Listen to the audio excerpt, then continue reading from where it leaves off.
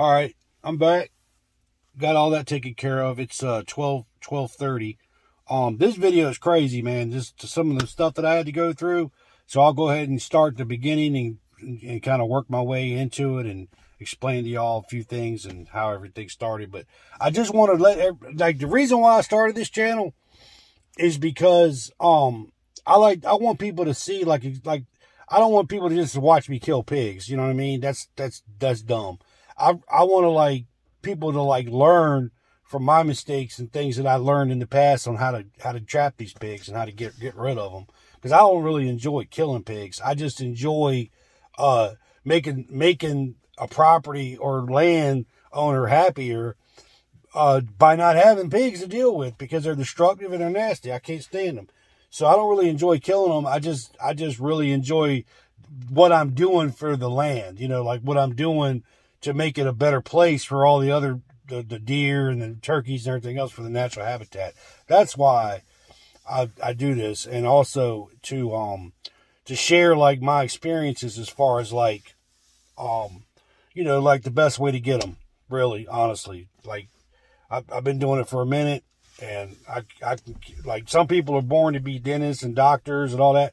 I think I was born to kill pigs. Like that's to exterminate them. That's what I was born to do. So anyway, I'll get into the video. All right, so yeah, trapping these pigs, man, it's not all it ain't all fun and games because see that white box right there? That's my control box and the last time the last group of pigs i trapped for some reason the mounts on the back of it slid down so it made the cable too long. So when i went to trigger the trap the cable was too long it didn't pull on the latch. So i i had him in there earlier and i i went to hit the button to trigger the trap. And it just it didn't do nothing. It just pulled on the cable but the cable's too long. So now i got to go out there tomorrow and in the morning and fix it. So now i just get to watch these pigs eat the corn up. So yeah there's all all nine of them in there. This is the whole group everyone on there's two big that big monster boar right there in the corner. And then there's another boar up there towards the front and there's two three sows and the rest of the shoats. So there's nine pigs in this group that would have made 14 plus nine that would have been um yeah, 22, 23 picks for today. But yeah, I mean, it is what it is. So now I just got to like wait till the morning to go out there and fix the box. I think I got to put lock washers behind it so that it'll hold, it'll stay up. But yeah, this is what I go through right here. You know, it ain't all, everything don't always work out perfect. So that's, that, it is what it is. So this is a long story. So uh, I'll try to make it short. I was at the house earlier. I trapped those eight pigs right there in the trap, okay?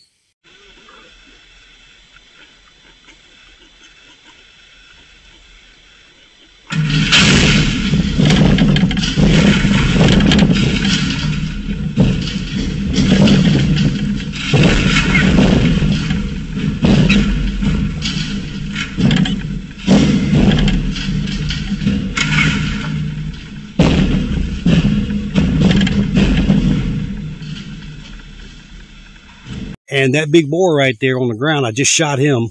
He would not come to the trap till late. So they started acting crazy because there was a boar in there trying to get with the other sow.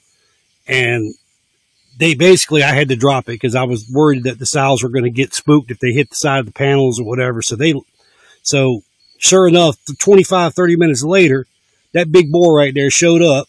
Okay came in, hung around the trap. So I was at the house watching this. I said, you know what? I'm going to go out there and walk down there and shoot him. So I just parked 500 yards up the road, walked down here in the dark because I left my flashlight.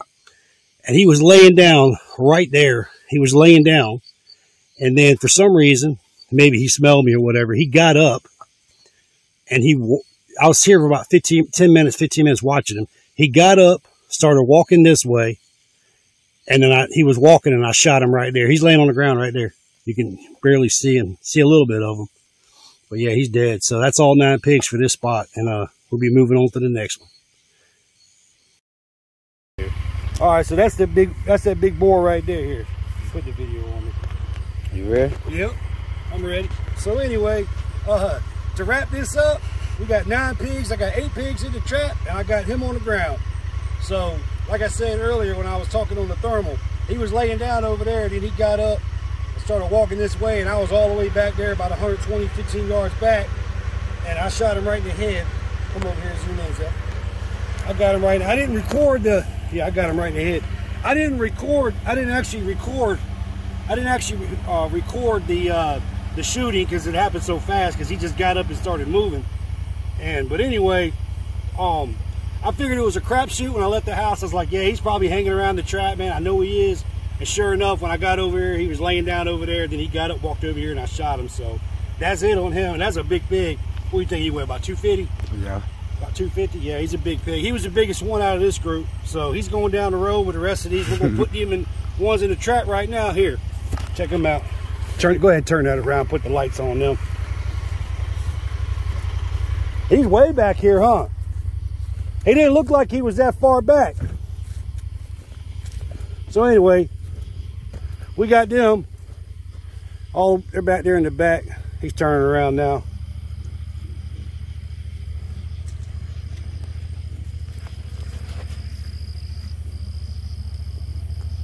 Yep, there you go.